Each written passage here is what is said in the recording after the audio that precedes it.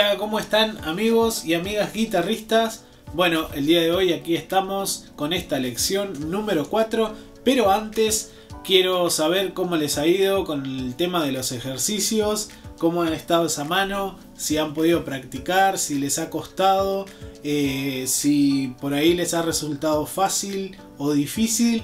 Y bueno, me gustaría que me dejaran sus comentarios, que trato de responder siempre y bueno, estar ahí para para que sepan también y vean el avance que vamos teniendo juntos. ¿sí?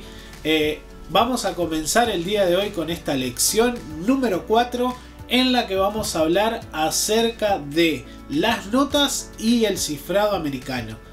Dos cosas muy pero muy importantes que como músicos necesitamos saber y conocer. Quizás alguna de ellas ya tenemos alguna noción, ¿no? Eh, por lo general cualquiera de nosotros ha escuchado en algún momento las notas musicales cuáles son, ¿verdad? Todas las conocemos, yo las voy a poner aquí.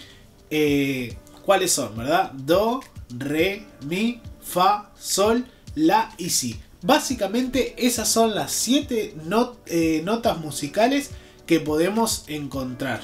¿sí? Ahora, eh, hay algo interesante que es lo que vamos a ver en el video de hoy. Es acerca de cómo estas notas han tomado un cifrado que es la forma de ser representadas básicamente por una letra en la que esto se ha hecho de forma universal para que tanto que si nosotros estamos aquí como si estamos en otro país podamos entender eh, la nota que está representada allí por esa misma letra, ¿verdad? Eh, quizás en América Latina eh, todavía seguimos leyendo nuestra nota, por ejemplo, Do, escrita ¿verdad? Con, con como do, ¿sí? Pero eh, universalmente se usan letras para representar esto. Entonces, lo que vamos a ver es estas letras para que el día de mañana, cuando ustedes vayan a buscar una canción o alguien les pase una canción y le pase las notas, ¿sí? O los acordes de la canción, vamos a ver que vienen representadas por letras, ¿sí? Que a veces no tenemos mucha idea al principio cuando recién estamos comenzando qué significa cada letra y por eso antes de ver los acordes es necesario que sepamos cómo son representados por las letras esta en el cifrado de las notas, ¿verdad? Eh, vamos a comenzar, por ejemplo, con nuestras siete notas que tenemos aquí. Vamos a comenzar con el Do, ¿sí?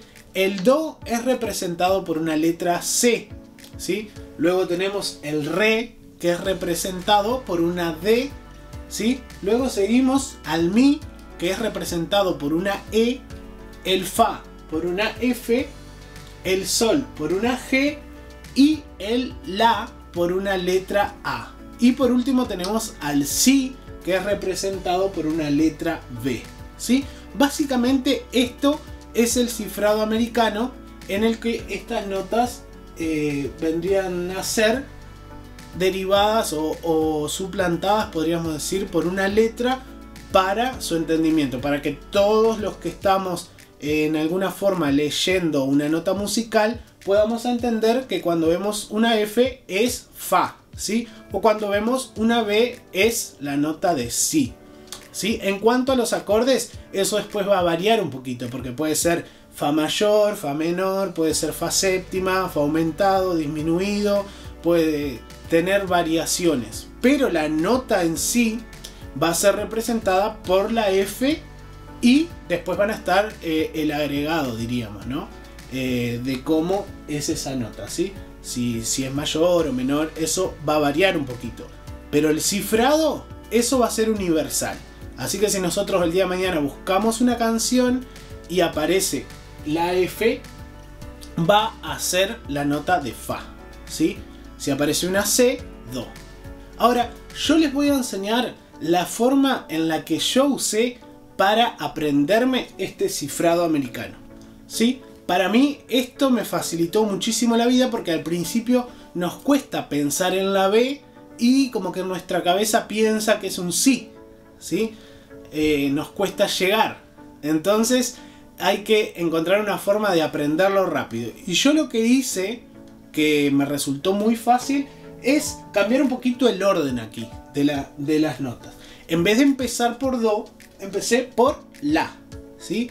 La, Si, Do, Re, Mi, Fa y Sol.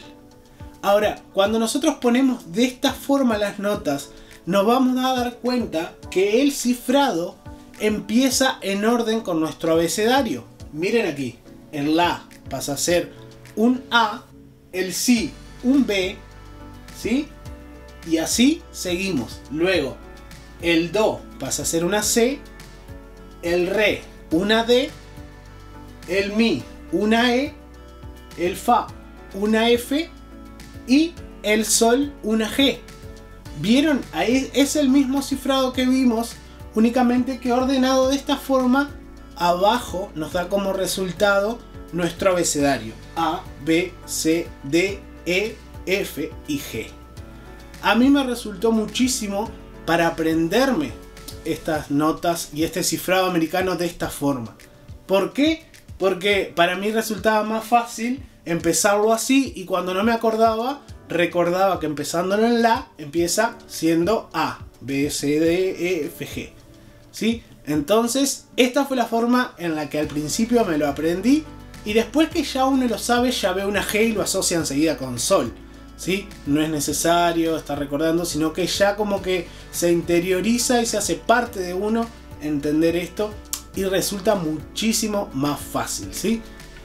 Esta clase quizás eh, es un poquito más teórica y nosotros ya quisiéramos estar tocando y aprendiendo acordes, ¿verdad?